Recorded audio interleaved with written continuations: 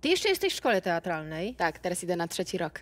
Biedne dziecko, naprawdę. Ale mimo tego, że cały czas chodzisz do szkoły, e, uczysz się w Warszawie. Mestorzyca od dzisiaj będę na ziemi. Mój świadek powiedział, że jest w szkole aktorskiej, proszę Ona cię. tam prawie mieszka, przecież no prawie, Mieszkam. ale z, wróciłaś całkiem niedawno z Ukrainy, gdzie dostałaś rolę główną w dużej ukraińskiej produkcji telewizyjnej, tak? Tak, tak jest. Jak to zrobiłaś? Bo mamy tak, dziewczynę, która zagrała tam w paru serialach, jakieś, no w Belle Époque główna rola, okej, wojenne dziewczyny, ale no tak naprawdę dziewczyna znikąd, jeszcze ze szkoły i nagle dostaje coś takiego. Jak to się robi za wschodnią granicą?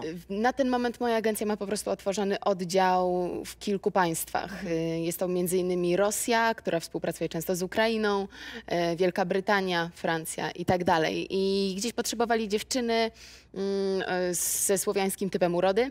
Proszę bardzo. Podesłano moje zdjęcia i dostałam tekst do nauki również, żeby nagrać właśnie tego e, Self-tape. self-tape'a.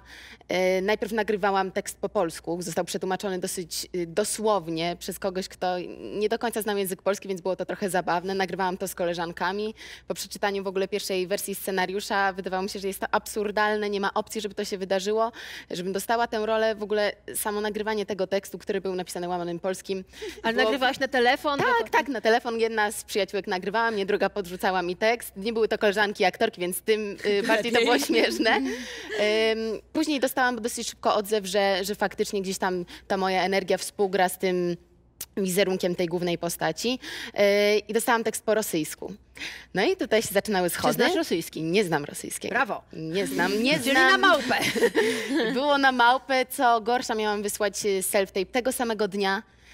Y, Byłam w trakcie sesji, więc po prostu razem z moim agentem wpadliśmy na świetny pomysł, że pod kamerą, którą on będzie trzymał, będziemy przewracać kartki z napisanym fonetycznie Jak tekstem. to właśnie miłość. Poro... Tak, tak, tak, tak. I jak widać zadziałało dwa tygodnie później, więc miałam tylko dwa tygodnie na przygotowanie się do roli.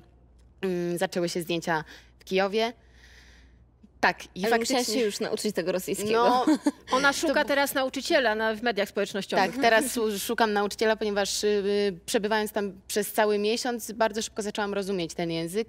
Już na ten moment komunikacja nie jest aż taka trudna, natomiast na początku ta bariera językowa i niemożność komunikacji nie tylko jakby wobec y, scen i pracy, ale też prywatnie, kiedy jest się tam samemu, pozostawionemu samemu sobie przez miesiąc, było, to było straszne.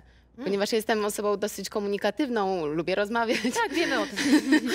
Więc y, nagle ta niemożność nawiązania najprostszego kontaktu. Pamiętam, była taka sytuacja, że weszli moi, dwójka moich partnerów serialowych do, do busa i mówię, Bo ty tam "O, grasz kogo? Swietka, tak? Swietka, Swietka, to jest y, mm, tytułowa główna bohaterka. Ona to jest taka bardzo naiwna dziewczyna ze wsi.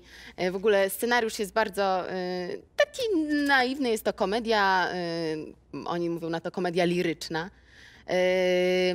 Jest to dziewczyna, która gdzieś po drodze, chcąc odegrać się na swojej byłej miłości, spotyka dwójkę chłopaków, którzy ją wmanewrowują w pewien przekręt. Jest to bardzo skomplikowane, więc nie będę y, dokładnie tłumaczyć, na czym polega przebieg dramatyczny w tym filmie telewizyjnym, bo oni tak to nazywają. E, Natomiast była taka sytuacja, że moi, dwójka moich partnerów weszła do kampera i ja mówię, o, mówicie po angielsku? A Oni tak, nie, nie, nie, a ja, no, no to fantastycznie, teraz miesiąc będę sobie milczała i No nie, nie, oglądałam twoje media społecznościowe nie milczałaś. Nie, nie, milczałaś, tam się, absolutnie tam nie. się sporo działo.